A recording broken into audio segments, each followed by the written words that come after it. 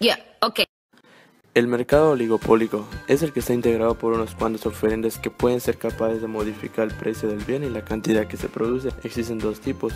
Oligopólico competitivo son los que luchan por atraer clientes y oligopólico coludido toman decisiones conjuntas y se reparten el mercado mediante acuerdos. Nosotros nos encargaremos de hablarles sobre el mercado cinematográfico, ya que es un mercado que se encuentra en nuestro entorno y al cual acudimos frecuentemente.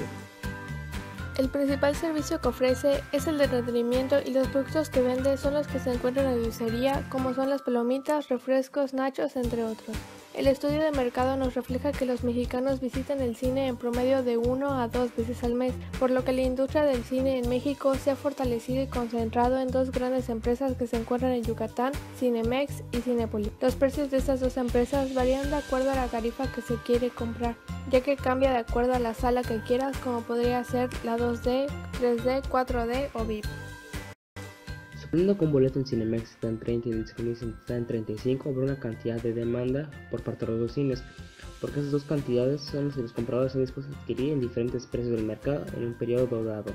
Cada oferta que imparte cada cine es por medio de parte del publicitario que va trayendo a los consumidores. También puede verse afectado también por los precios de los materiales y salario de los empleados, entre otros factores, ya que son los que están dispuestos a pagar en un mercado en un precio determinado.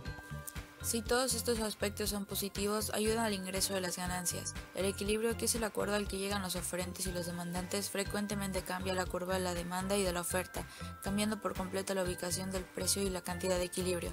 Es por eso que cada determinado tiempo se lanzan ofertas o promociones de distintos tipos, para poder observar la reacción y así determinar la elasticidad que obtiene la empresa.